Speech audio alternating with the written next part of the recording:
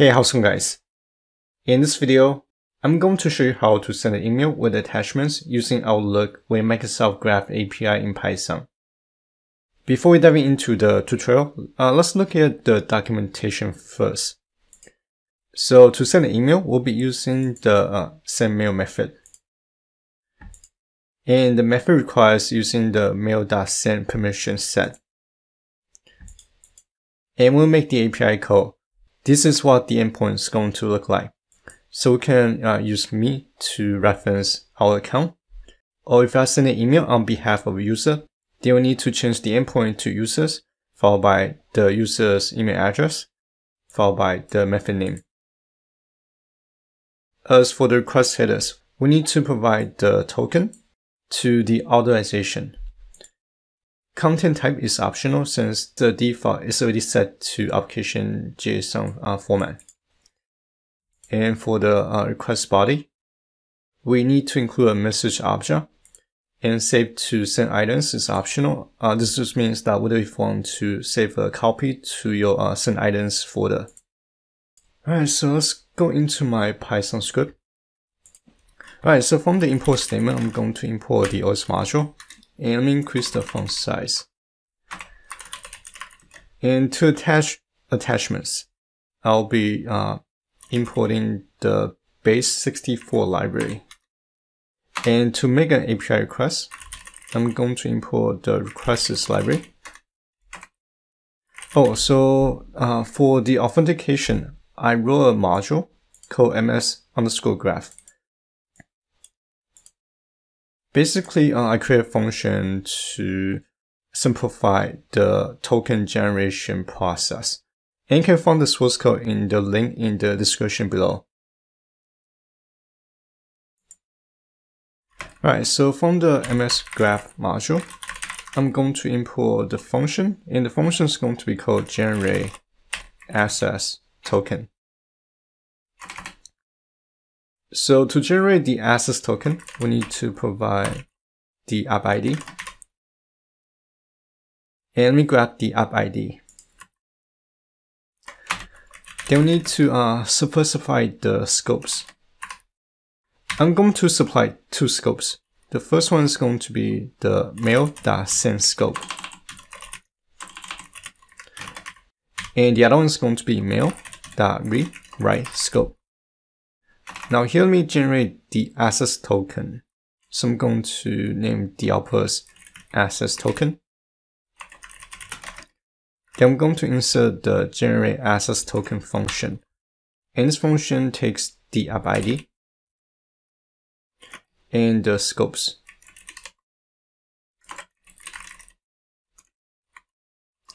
Alright, so if I go ahead and run this code block,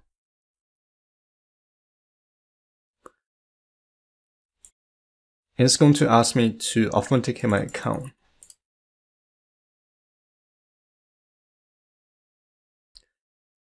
And once I've verified my account, I can close the tab. At this point, I have my access token generator.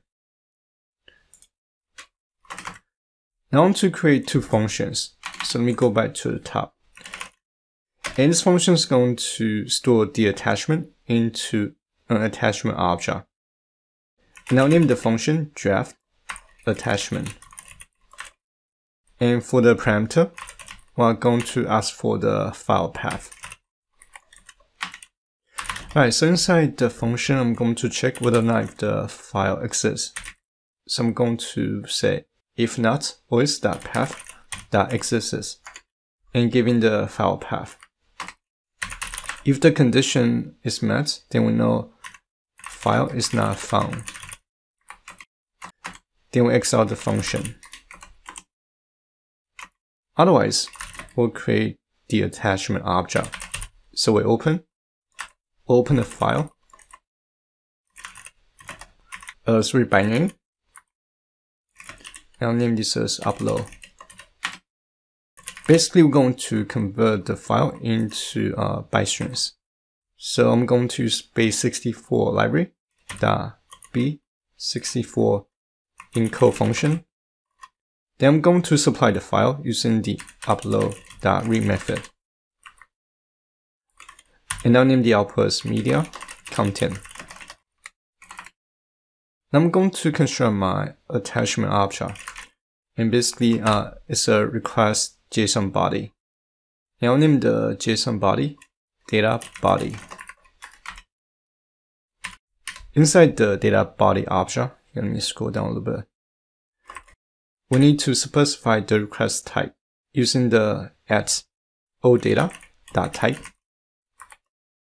And the type name is going to be pound Microsoft dot graph dot file attachment. And make sure that the letter A is uppercase. Then we need to attach the uh, byte strings using the content bytes property. And it's going to be media content dot decode. We need to convert this to UTF dash 8. And the last item I'm going to supply is the file name. And for the file name, I'm simply going to grab the file base name using the os.path.base name function. Then I'll insert the uh, file path. Then I'm going to return the JSON body. Alright, so let me go ahead and create a function in memory. Now going back to the script, I want to create my headers. And it's going to be authorization. And we need to insert bearer space followed by the access token.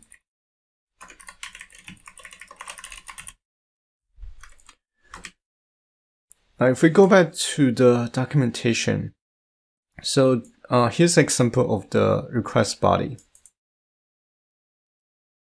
And we have several examples. And based on your use case, you may need to add more fields. Alright, so let me go ahead and uh, create my request body JSON body. And I'll name the object as request body. Inside the request body object, we need to specify the object type. And it's going to be message.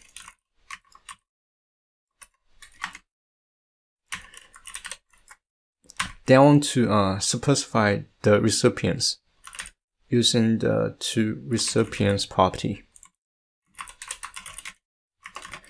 And it's going to be a list because we can include multiple recipients in an email. And insert notes, recipients list.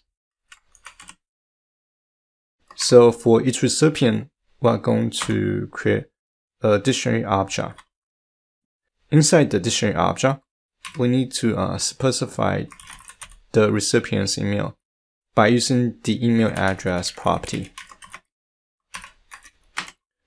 Inside the property, we need to insert address followed by the email address. Alright, so I'm going to send the email to my dummy account. Now if I want to include additional recipients, you can simply copy this dictionary object and just copy and paste and modify the email address. Alright, so the next item is going to be the email subject. And the property is going to be subject. I'll name this as you got an email. If I want to set the email's uh, urgency, we can use the importance property. I'll set this to normal for now. And for the email body, I'm going to insert a dictionary. And we can specify the content type to uh, plain text or HTML. And for this exercise, I'm actually going to set this to HTML. And for the message, we're going to use the contents key. And let's say I want to say, uh, be awesome. I want to make the font bold.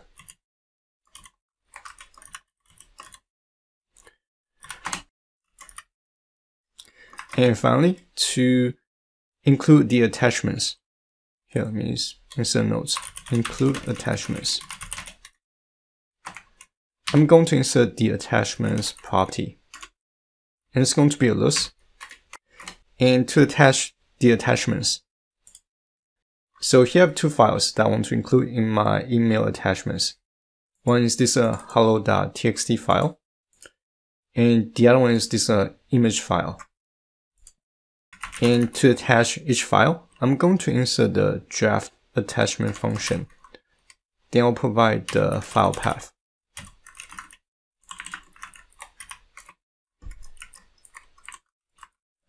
And this one should be image.png.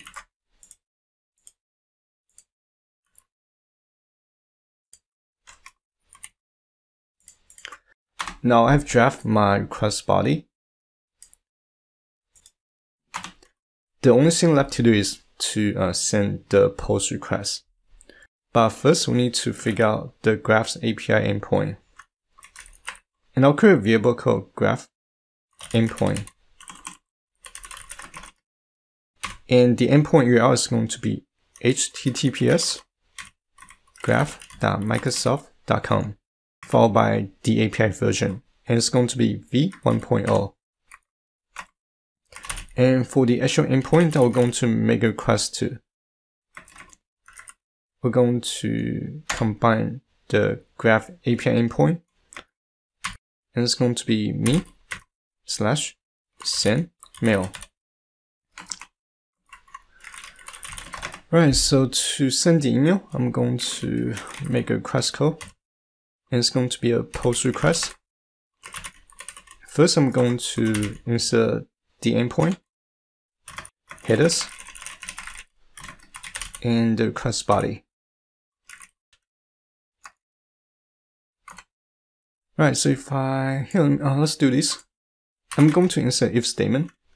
I want to check the response status code.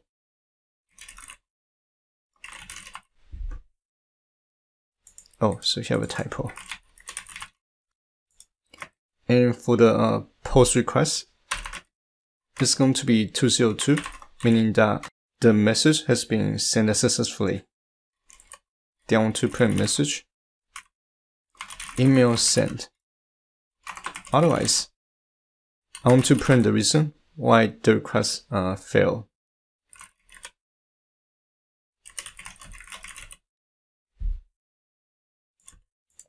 Now I'm going to uh, terminate this session. And based on the generate access token function, every time when you uh, authenticate your account, it's going to create this uh, API token file that store the session.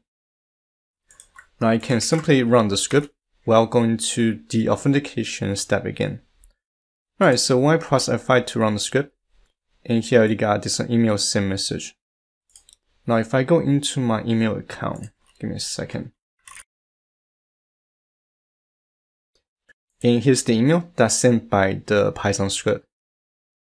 So this is going to be everything I'm going to cover in this video. And hopefully you guys found this video useful. And as always, thank you guys for watching. I will see you guys in the next video.